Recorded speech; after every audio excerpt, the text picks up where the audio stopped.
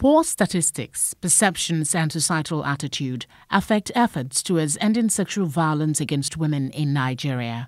Speaking during a panel session at the WIMBIZ 18th annual conference in Lagos on silence and shame, founder of Women at Risk International Foundation, WARIF, said there was very little current statistics on violence against women in Nigeria. There's very little current statistics on violence against women in Nigeria.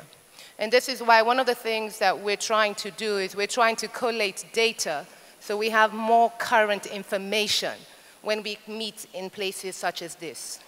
What we do know presently, and these are studies from 2014, is that one in two women between the ages of 15 and 19 would have had one violent sexual encounter. She attributed some of the challenges to include the patriarchal society we live in, the lack of awareness, among other issues. But the most important why, I think, is the enabling environment that we are all complicit in. The most important why is the culture that we've allowed to evolve, where it's okay because boys will be boys. The important why is where we see these cases of abuse, but we turn away because it's not happening to me, it's not happening to mine. So why should I intervene? A woman naked could be left on the street in Lekki, and as opposed to assisting her, pictures are taken of her and it goes viral. A child is seen outside at 11 a.m. We all know children should be in school. Who stops to ask her, why are you outside? Other speakers also share their views on what needs to change if we're to make headway. We're still trying to prevent our girls from getting raped. No. We're supposed to be raising better men. So,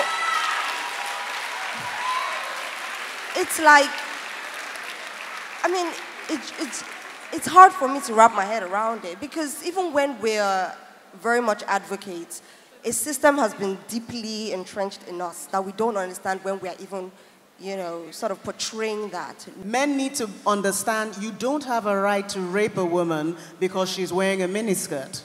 Presently, whenever you have scenarios where women walk into police stations to report a crime, and the crime happens to be rape, they're faced with the victim blaming that Hawa mentioned the police officer typically would come with his own perceptions. And then he would ask the most ridiculous and obvious questions that we've all heard before. What time of the day was it? Were you alone? And what were you wearing? Do women recover from sexual violence? I would be lying if I say that I've fully recovered, but I've had a great support system. So my family has been there for me. I've had friends who've been supportive. Um, I work for an organization that told me to take as much time as I needed to recover before I come back to work. What kind of filth am I? Like, how did, how did he see me that he thought that this was the best way to treat me?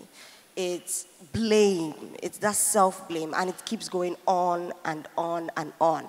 Experts submit that Nigeria can make progress beyond words towards eliminating sexual violence against women and girls only by breaking the culture of silence and reforming social structures that permit and enable the violence against women and girls. Felicity Ezewike, Plus TV Africa.